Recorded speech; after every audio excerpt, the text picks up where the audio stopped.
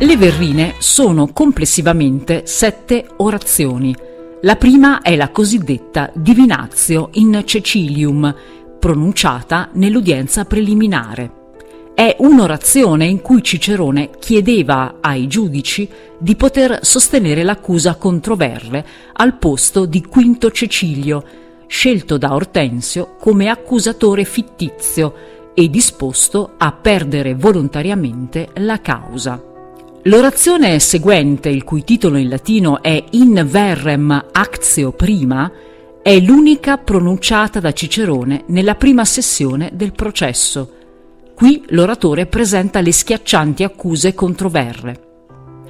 Le cinque orazioni che compongono la terza sezione del corpus e che costituiscono l'actio secunda in verrem non furono mai pronunciate in tribunale, ma furono rielaborate da Cicerone per la pubblicazione.